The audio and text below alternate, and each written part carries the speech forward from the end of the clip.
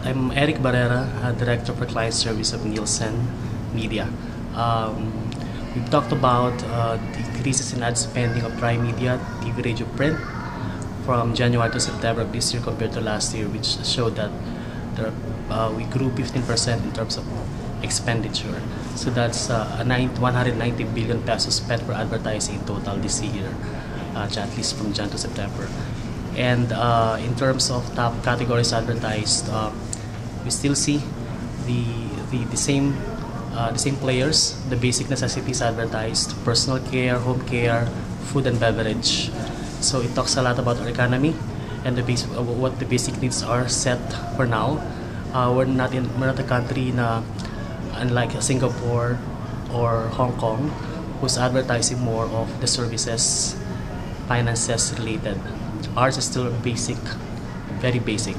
Uh, in terms of player, the advertising expenditures growth is still mainly driven by the key players Unilever, P&G, Colgate Palmolive, the telco giants, and some other food and beverage companies. Whether we have we're into a difficult times or not in terms of economy, advertising still goes on. Hi, I'm Tin Estandarte, Client Service Manager from the Nielsen Company. We are seeing that there's an improvement in the lives of the OFWs compared to our study conducted in 2007. There are a lot of families who moved up from the lower income class, the DE level, and they moved up to the C2 income plus level. the remittances that they get is actually um, used for their basic needs um, to buy food for their rental, education, and medical needs. But there are also um, families who get to save.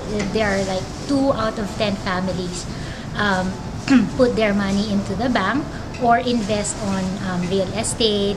Uh, they get um, insurance, and um, some would go for a business. Yan. And in terms of media consumption, um, given all of these things that they invested on mga um, entertainment media, we get to see that um, OFW families have higher uh, media consumption compared to the regular um, Filipino family.